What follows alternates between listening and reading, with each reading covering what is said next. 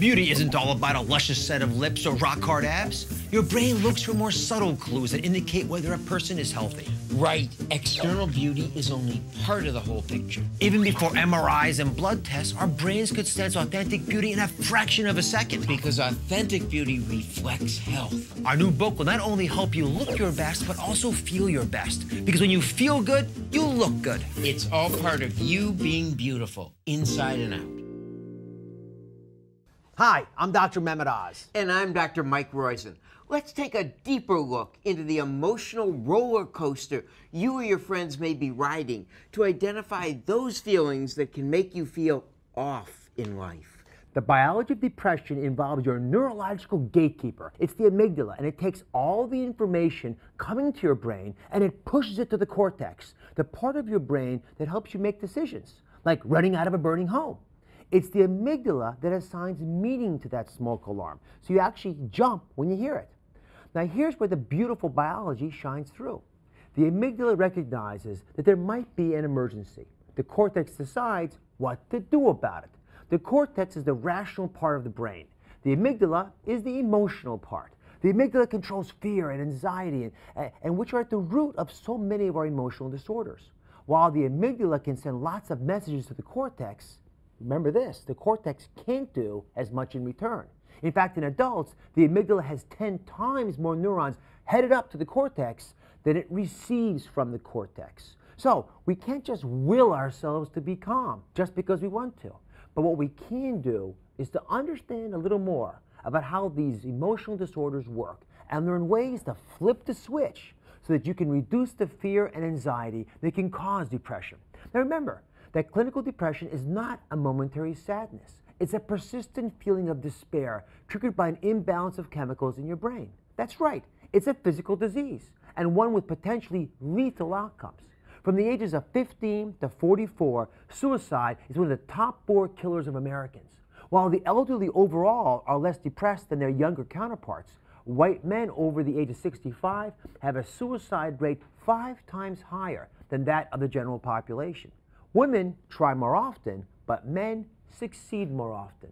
In addition, depression suppresses your immune responses, so you're more vulnerable to infections. It also increases inflammation in your body, so your C reactive protein or CRP levels, which is a marker of some of the most important inflammation in the body, more than double, and your heart attack rates increase. So, how do you tell if you're depressed? Walk into a room, is the mood of the people in the room better or worse after you've been there for a short time? If it's worse, it's a sure sign that you're projecting some depressive symptoms. Doctors can often diagnose depression because they themselves feel worse after talking to a patient. Here's a stunning stat for the day. About 15% of us have clinically significant depression at some time in our lives. Sometimes you might need medication, but it's essential that you also get psychological support at the same time since much of the benefit comes from talking out the problem. Otherwise, you're just dulling the pain with medications without addressing the underlying causing problems. Sometimes your doc may even prescribe medication based on symptoms alone. Or she may do further testing, like blood tests to ensure that you're not short on normal quantities of thyroid hormone or B12, which are linked to depression.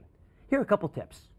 Talk it out. The fact is that when it comes to reducing the effects of depression, the biggest cure may not be in a pill bottle, but making sure you don't stay bottled up inside yourself. In treating minor depression, talk therapy over six weeks is 60 to 70% successful, and it's 90% successful when used in conjunction with drugs. How does it work? Probably through release of those feel good chemicals, including oxytocin, and learning new coping strategies. Maybe the most effective treatment for depression is cognitive behavior therapy. Limited to 10 to 20 sessions, this therapy helps people learn how their thoughts contribute to their symptoms and suggests behavioral changes that they can make to change their environment, their response to their environment, and ultimately their thoughts. It doesn't tell you how you feel, but rather it teaches you how to stay calm and cool when you're upset about a problem so that you can figure out how to feel and do things better.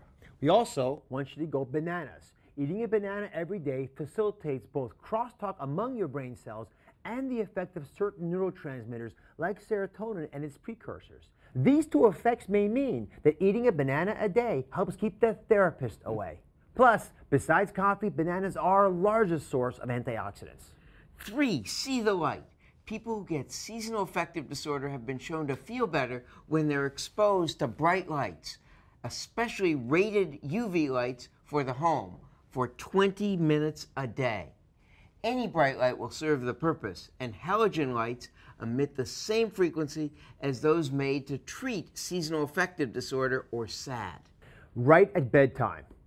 Approach every day with an attitude of thankfulness. Impossible expectations lead to sadness. Try to write a gratitude journal daily. Writing three thank you notes a day really does make it less likely that you will suffer from depression. And while you're at it, put some music on in the background. Research suggests that music can improve moderately depressed moods. Depression has a silver lining and makes you focus on the challenges of life, so you keep talking to anyone who will listen, including yourself.